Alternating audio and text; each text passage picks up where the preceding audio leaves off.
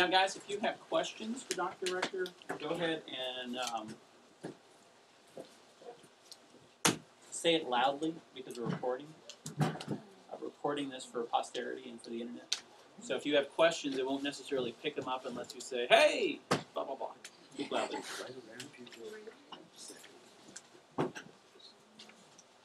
Ladies and gentlemen, it is eleven o'clock, and so we're gonna get started. I'm gonna check my phone, it says eleven o'clock. So, uh, my name is Barron Rector, and I'm an associate professor and extension range specialist in the Department of Ecosystem Science and Management, uh, for Texas AgriLife Extension Service, one of the sponsors of the program. Who's the other sponsor? Parks and Wildlife. Oh yeah, Texas Parks and Wildlife. That's uh, Jaime. You know all about them, don't you? About. Uh, before he leaves, let's give our previous speaker a round of applause. Okay. So today, uh, this is the Gulf Coast chapter, and uh, did you read in the agenda what I'm going to be talking about? You did. See, if you didn't, you haven't followed the instructions for being in the class. So if you didn't know what I was going to talk about, then I could talk about anything that I wanted to, and you wouldn't know the difference. Mm-hmm. So usually in our Master Naturalist Handbook, there are reading materials in there that if you read them before you come to class, then you're able to ask other questions. But I've noticed at A&M with students, they don't read before they come to class and because the new knowledge blows their hair back while they're sitting there hearing a lecture, they don't ever ask a question. So it's always good to kind of, what do I know about the topic that's coming up? Because in the Texas Master Naturalist program, one thing we know about you, the new volunteers coming into a new class, is that you come in with wives' tales, mm-hmm. hearsay, and myths flooding your mind. And between the two agencies that sponsor the program, what we try to do from a land grant university standpoint is to tell the truth. See, we're not coming up with homemade remedies, but we're putting out the best science based knowledge that we have available for the era of time that we're in. So think about the prairie. Jaime has introduced you to the tall grass prairie, the coastal prairie, and uh, think about the blackland prairie that is just to the north of here, over toward San Antonio, and goes all the way to the Red River. 99.5% of the tall grass prairie was plowed and put into farming. Is that good or bad? Now think, back in 1842, when the settlers were plowing the prairie to plant, plant their corn, their cotton, their sorghum, their watermelons, they even grew tobacco and sugar cane in that era of time. That they did what was exactly right for the time. And when you think about the industries that are on the coastal prairie around Houston and Beaumont, and Port Arthur, and Port Neches, they were put there because there were no cars, there were no buses, there was no Sam's, no Walmart.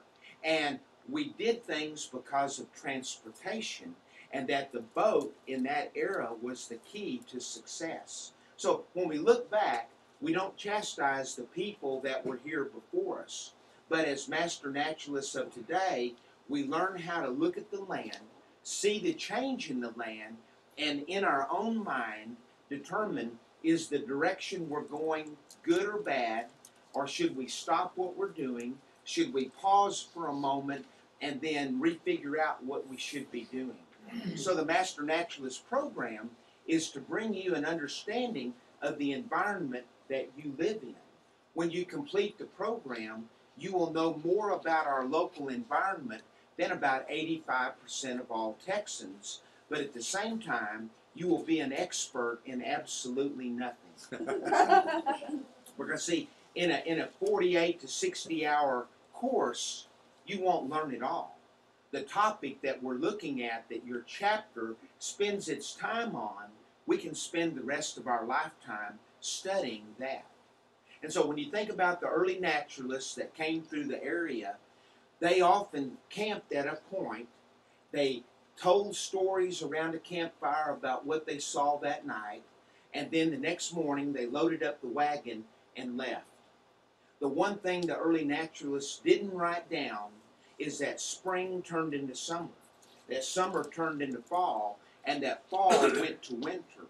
Most of the writings of early naturalists are at a location for one day out of the year. So the day that they were there, they may not have seen the monarch butterflies migrating through. They may not have seen a roseate spoonbill land on a local body of water. So they wrote down what they saw, but many of the things that they wrote down are inconclusive today because they wrote it in Polish, Romanian, they wrote it in German, they wrote it in Spanish, they wrote it in Italian and, and Czech. And so we've interpreted what they wrote down, but it is not the gospel. Because, see, they weren't there for 10 years to see the impact of a 7 to 10 year drought. They weren't there at that point where that piece of land received abundant rainfall for four years in a row. See, they saw it for one point in time. And so think about that early naturalist that came through here, and he said, Today we saw a large herd of bison. What does the word large mean to you? If you were a mercantile operator, uh, would 24 dozen eggs be large? Uh, if you were the surveyor, would one s- little marker in the ground be large? If you were a military man, a lawyer, a doctor, what would the word large mean to you? And so think about that herd of bison that we know today roamed the southeastern part of the state. And uh, think about Armand Bayou Nature Center. Have y'all been there? On their website, they say they have a large herd of bison. They have three. Okay, so did the word large mean three? Did it mean 30? Did it mean 300? Did it mean 3,000, 30,000, 300,000? Or did it represent 3 million head of animals that roamed as a group throughout southeast Texas? Mm-hmm. And so think about those guys wrote down they had to camp up to 14 days waiting for the herd to go by. And what do you think the ground looked like after 3 million head went by? It was stomped out, wasn't it? It was pulverized. Isn't it amazing that the prairie of the coastal plain could come back from having 3 million set of hooves go across it? And that man wrote when he got off the boat at Galveston and he went over to San Antonio that he rode in a wagon through a sea of grass.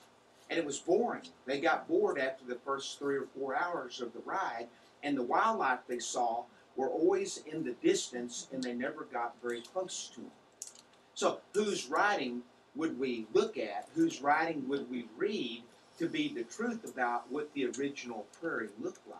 The thing we know about the prairie is that it was a changing ecosystem. And so, go back with me to understand change.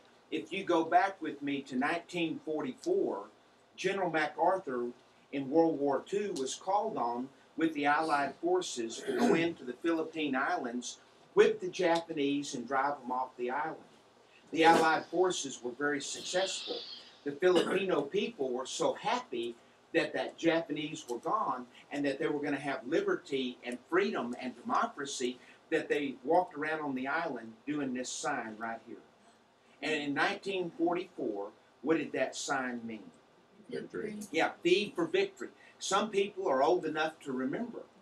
Some pass the stories of time down through their families. Well, I have learned in my lifetime that everything we see and how we interpret it, it changes. Because, see, the sea of knowledge is escalating today.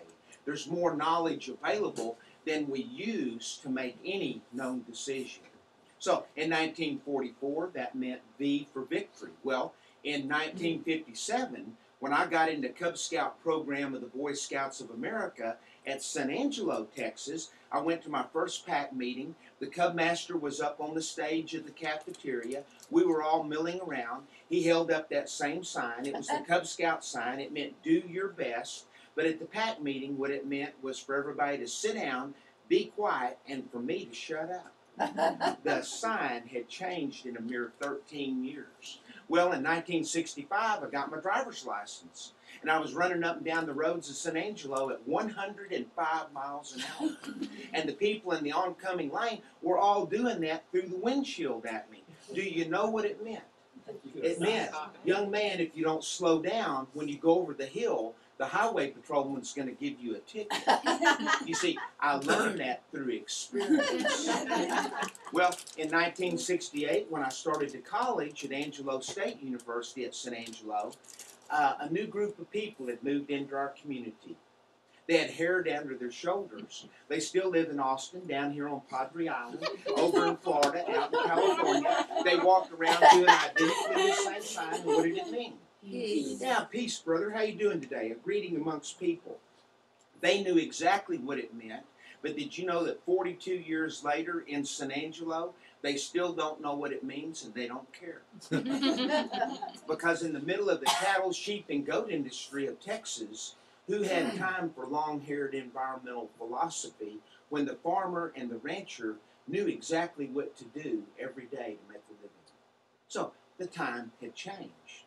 Well, in 1976, I got to go to Texas A&M University, the land grant university in the state of Texas, the home of all truthful knowledge. and at Texas A&M, I learned the true meaning of this sign. And yes, it's an Aggie meaning, but I want you to know what this really means. And I found at A&M that the true meaning of this sign is this means two. One, two. See, we suspect that all the Aggies have learned how to count to two. Some are suspected of learning how to count to three. But see, now that you know the true meaning of this sign, what will you do with the knowledge you gain in this course? Because your neighbors don't want to hear the truth. Your neighbors won't believe what you say. And so, with knowledge comes responsibility. And at the same time, with your new knowledge, you're going to be tested all the time by the people around you. So that now that you know that this means two, I want to give you a test. If this means two, what does this mean? And see, mm-hmm. if you live in Mex- southern Mexico or Australia, that is a dirty, naughty, nasty sign. But at Texas A&M, the land grant oh, university in the state of Texas, the home of all truthful knowledge, this means Thursday, Monday, oh. Tuesday, Wednesday. Oh, Thursday. Oh. See, and if you were in the Corps of Cadets training to be an officer in the Army, the Navy, the Air Force, and, or Marines, and your CO of your outfit held that up, you knew it was Thursday. You went and got your dirty clothes, and you all went to the laundry together. See, how do you know that when you look outside, you're interpreting what you see on the land correctly? You weren't here in 1823. The camera wasn't invented to 1847. You have the writings of early people that were only there for one day. And no one ran a transect line on any property for vegetation and animal species in 1823. What did the early settlers do when they came in at Texarkana and on the OSR and down at Galveston and Brownsville and up at Texline and over in El Paso? Hey, look, Texas has got deep soil. It's got fresh air, clean water, abundant wildlife. Let's move to Texas and live happily ever after. See, that's what we've been doing for 187 years. But along the way, we have changed the environment of Texas through human impact. So Texas does not look the way it did in 1823. Matter of fact, not one square inch looks the way it did in 1823. Have you been to Huntsville State Park? Y'all been there up on Interstate 45? Well, I took a bunch of Boy Scouts over there, and a man was with his son on the nature trail. He put his arm around his son and he said, Look, son, this is what the forest is supposed to look like. Needless to say, there's no tree in the park that is over 80 years old. And the knowledge that was lost is that in 1929, Huntsville State Park was a cotton field. And in 1932, a CCC program of the federal government came in and planted pine trees on the land. Ladies and gentlemen, the rest is the history of change. And see, we get there today, we think that is a virgin forest, and yet there is not one acre of virgin forest in the state of Texas. All the forests have been cut four or five times. All the grasslands of Texas have been grazed for over 200 years. And see, and it was native animals, or today it's the domesticated animals that we have. So, to bring you enlightenment uh, about this, I want to give you a handout that uh, was put together in a book called The Ecosystems of the World. And the chapter I'm giving you is on natural grasslands. And inside, the article that I have photocopied for you is on the coastal prairie. And if you learn everything that's in this document, you will have gotten about a three hour course on the coastal prairie at the college level. And there are words in there that you'll have to look up. I don't know what all the words in this article mean, but I do want to, uh, when you get a copy, turn to the back of the first page and look at this beginning of the article with me. Starting over in the second paragraph of the right hand column. And look at what it says. The grasslands are potentially mid to tall grass prairies, but the many rivers and streams that cross the region, as well as several woody vegetation contacts, provide for a variety of woody species as potential invaders. What does that mean? To invade something, it means that something changes, allowing something that wasn't there to move in. Encroachment of woody species was discouraged. Now I'm on page 270. Under pristine conditions, by the combination of things that Jaime told you about, adaptive conditions, meaning the the clay, shrink, swell, poorly drained soils of the coastal prairie, the periodic fires, and the absence of sustained overgrazing. See, with the onset of overgrazing by livestock and elimination of fires, woody vegetation increased in abundance. Prosopis glandulosa and Quercus virginiana, the mesquite and the live oak were, however, almost certainly components of the upland parts of the region even prior to European settlement.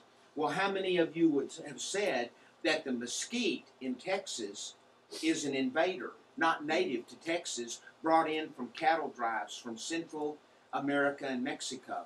Let's look at scientific fact.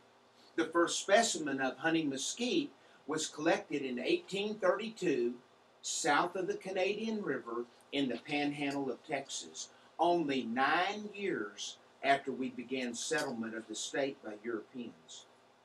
The largest stand of mesquite ever found in Texas prior to 1850 was found 30 miles south of Fort Worth, Texas. Now we'll look at the rat midden research in West Texas. When we go into a rat's midden, all the layers of its excrement, its food, the pollen out of the air that have been put there for thousands of years, what we find is the mesquite has been in Texas through carbon dating of the pollen a mere 10,000 years. See, what is the truth? And so, man, when he writes an article, he takes the known facts of the day and puts them down. But as we learn about the earth and we learn about where we live, will it not change? And how we perceive what we see will change. Look in the next paragraph. Abundant native ungulate populations existed by the time of settlement by Europeans, and by the early 1800s, populations of feral cattle and horses were already large. The first scientific observers saw the results of over 100 years of overgrazing, see, by the time that we got here. Consequently, they misinterpreted the potential vegetation of the area. Later investigations of remnant grasslands and well managed ranches suggested that the coastal prairie be identified as the Schizachyrium scoparium, little blue stem, and the Sorghastrum nutans association. But is that true of the whole area? See, when you go and look at this map, look at where the coastal prairie is. And the area over here around Beaumont, we see in, in, in uh, uh, Lake Charles, receive around 1,450 millimeters of rainfall a year, and down at the bottom here at Corpus Christi, they get half that much rain.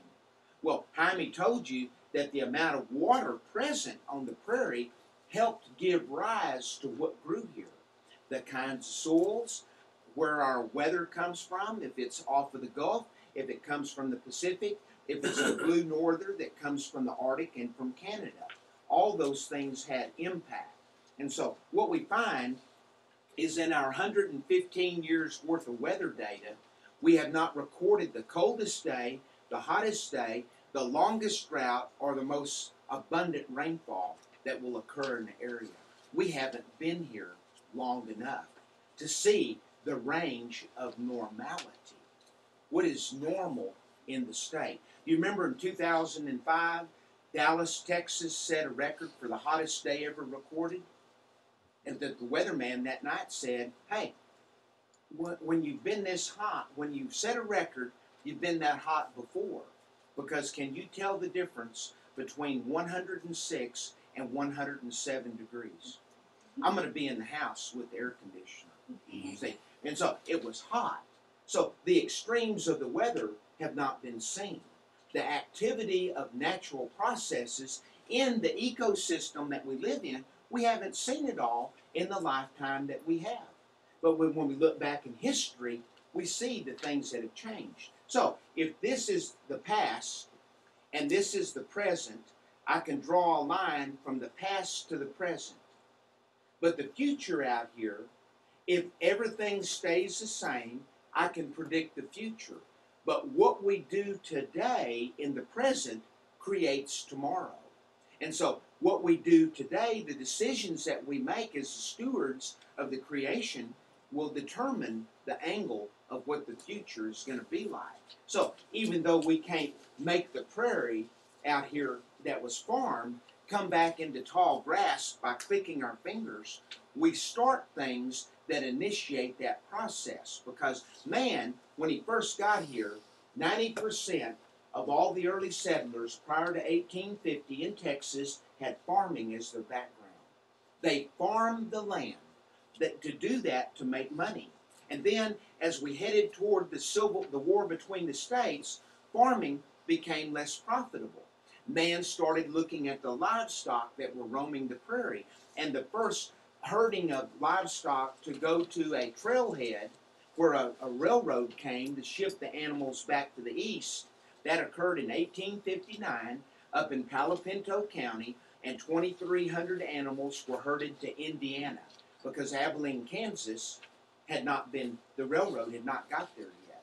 So they had to go all the way to Indiana to sell the animals. Well, people believe by John Wayne movies that we've been herding animals since the beginning of time in Texas. The first herding of animals was from East Texas to Central Texas, and when the water of Central Texas played out, the animals were moved back to the Trinity River and the Sabine River where permanent waters could be found. Because, see, in that period of time, we had no windmills. Windmill didn't come out until the 1883 84 period. There were no bulldozers, there were no ponds, and there were no lakes. The only true lake in Texas is what? Mm-hmm. Yeah, Lake Caddo. Everything else has been built by humans. Mm-hmm. And so then, after the war, we began the tradition of what ranching is like today. But by the turn of the century, going into 1900, we'd gone through an extreme drought in the 1883 period where 10 million head of cattle died in Texas, not because of the lack of grass, but because of no water. See, they dehydrated and died.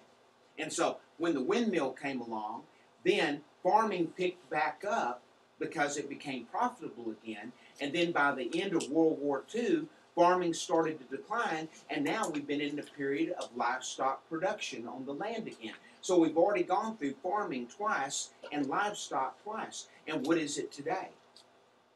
Both of them are dying in Texas. It's now ecotourism. See, plant bluebonnets to get the people from Arkansas to come down here and spend their tourist dollars.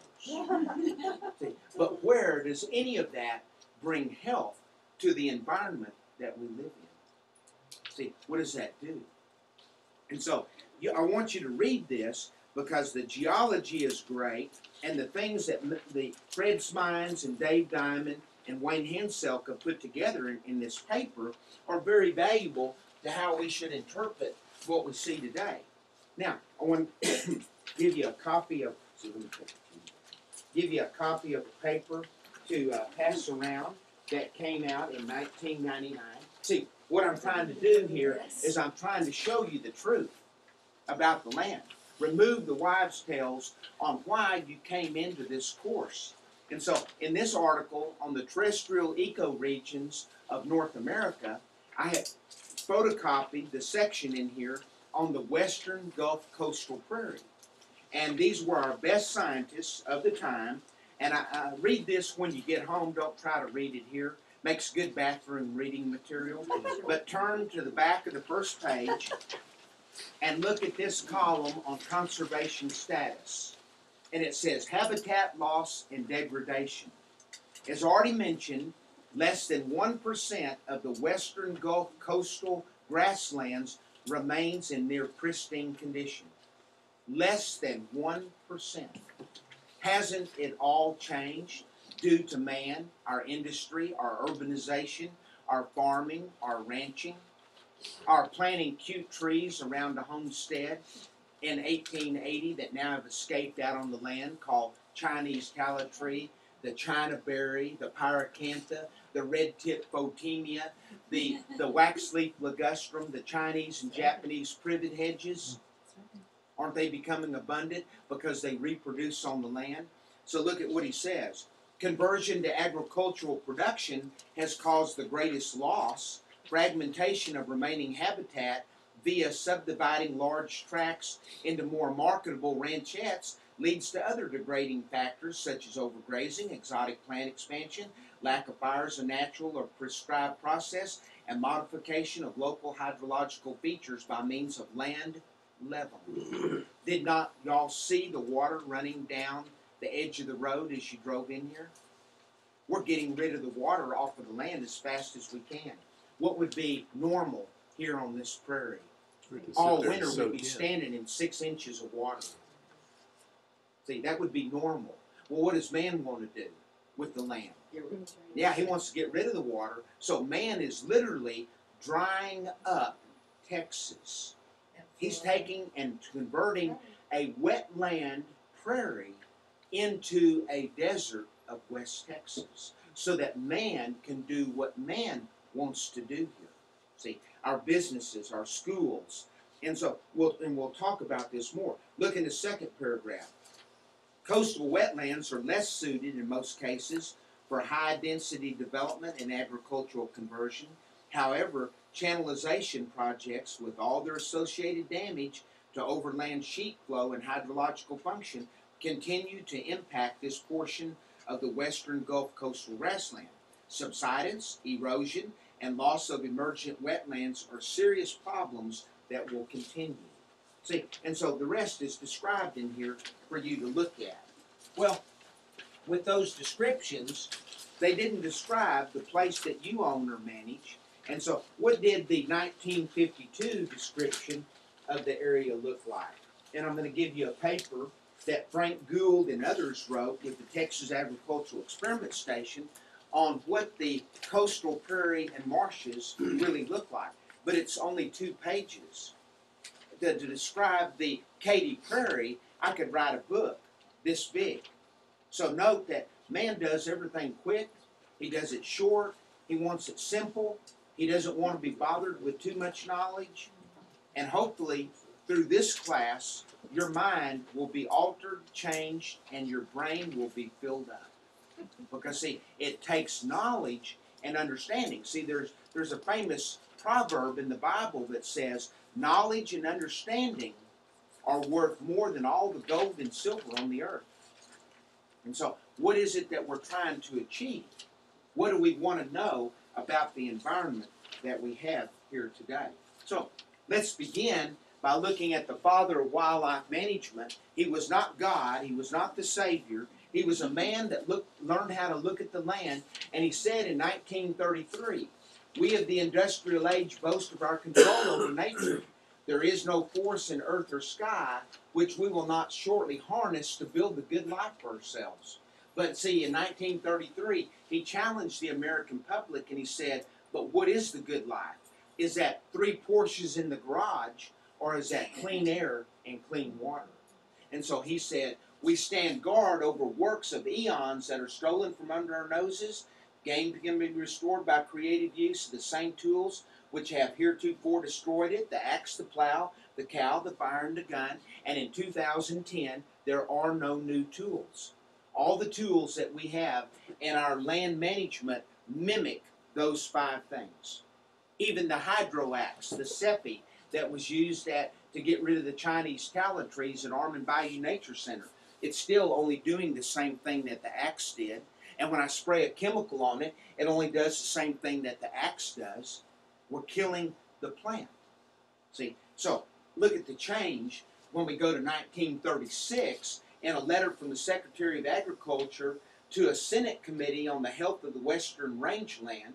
And in 1936, we were in the same group with California, Washington, uh, Colorado, and New Mexico. He said the private owner's responsibility for the stewardship of land is a concept conspicuous largely by its absence in the United States. 1936. He said man didn't care about what he was doing then either and did not see any negative repercussions to man's hmm. society building as it is done. When did the Dust Bowl begin? When we first got here in 1823. We started it then. Yes. And so the greatest change in the land of Texas occurred prior to 1890. See, we're only living in the land that was changed two centuries ago. The damage to the land is not being done today at the rate it was being done up to 1885. Yeah, it was already done. And we, we have classic examples uh, that we have the normal soil loss through erosion per year on the land in Texas is 700 pounds to the acre. That would be the normal soil leaving an acre of land. Well, we have a lot of places that don't lose but 70 pounds of soil now because why? There is no soil left to lose. See, think about that. The change has already been done prior to our parents. See, back in our grandparents' era is when the greatest damage to the land ecosystem was done in the state. Not, not what we're, we're ac- actually what we're doing today. But ownership has been regarded as carrying the right of unrestricted use, even though it meant destruction, and even though the evil consequences of destruction did not stop with the owner, but were extended to the public and to prosperity. Think about they lowered the speed limit in Harris County and all the uh, surrounding counties from 70 to 55 in 2001. I drove the second day the new signs went up. They didn't tell us they were doing it. But when I drove, I was driving 59 and a half miles an hour, so I wouldn't get a ticket. But the people of Houston were passing me at 85 miles an hour. If you stop them and ask them why they were breaking the law, they said, Oh, I'm late to work. I'm late to piano. I'm late to pick up the kids. I'm late, late, late. And see, man makes up time by breaking the law. But, ladies and gentlemen, what gave them the right to break the law? See, laws are made to help to guide man into doing the right thing. Well, they were doing it. TCEQ put the law in because we were not going to get our federal highway monies because our air quality in the area does not meet EPA standards. So they said if we slow all those cars down, the quality of the air will improve and we'll get our federal money. 12 months later, a new study on how much carbon is put out by all the cars on the earth came out, and they found out that the total emissions of carbon into the air from all motorized vehicles is only 4% of the daily load emitted into the air. They compromised and upped the speed limit back to 65. See, but they never told you that. But that's exactly why and what happened. New research came out that if we stopped all vehicles from driving today, all combustible motors today, there would not be any change in the CO2 in the air for the next 100 years. See, what, what's the greatest source of CO2 on a daily basis emitted into the atmosphere of the earth?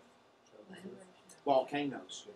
Oh. And I don't think you're controlling or have any control over any of those. So he said, basic to the restoration and conservation of the range resource, meaning the grassland, is the recognition of entirely different philosophy. That ownership carries with it the obligation and responsibility for preservation which the owner owes to himself, to his descendants, and to the public. In 1936, the word preservation did not mean build a fence around it and keep all humans off. It meant preserve the natural processes of the land. Collection of sunlight through photosynthesis, that decomposition that Jaime was talking about, that birth and death occur, that pollination is rampant, that seed distribution by, by uh, cockleburrs and fruit hanging on the fur of animals, that that continue. Because see, those are the things that are normal and natural. But man's trying to bring a halt to those. So think about the guy that after this class, he went home and looked at his backyard and he said, Man, it's St. Augustine, it's Bermuda grass, they're all from foreign countries. The red tip photinia, the, the pyracantha bushes, those uh, um, um, Chinese privet hedges. He went into his backyard and killed everything. And he planted it back to native plants.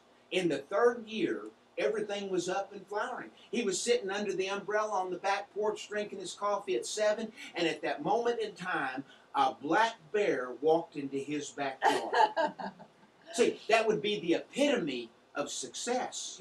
Bringing one of the top carnivores, predators of the area back. What would you be doing? My heart would be going like this. My feet would be going like this, and I'd be in the house calling the animal damage control to come pick the bear up. See, do are you sure you want a land that was like our ancestors found? See, today in town, a different ecosystem. There are no wolves and no bears. There are no alligators in downtown. Because see, anything that ate our children, we got rid of it. See, are you sure you want to put it back the way it was? See, then it would be a wild land. So he would. This was pretty enlightening. That man has a responsibility for stewardship of the land. That's a Judeo-Christian belief system. That in Genesis, God gave man dominion over the earth. He didn't say change the earth. He said take care of the earth so that it will continue for eons of time. But see, what leads man today? That's right. The green Greed. money. The government isn't passing bills to save the land in our environment. They're passing bills that help spread the money. That's right. See, that's all that you see today in the in the environment that we live. Well, let's look in 1970.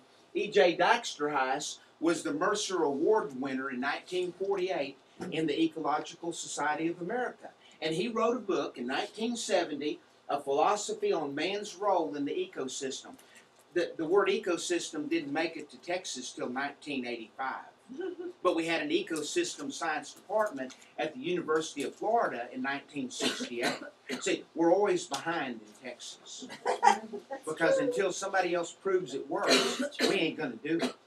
The, Master Gardener program was around for 15 years before it was even started in Texas. We, we kind of wait.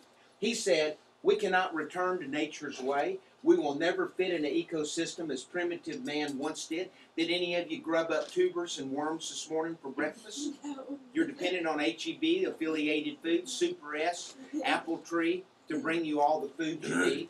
He said, nor can we conquer nature because natural laws are not subject to repeal. What does that mean?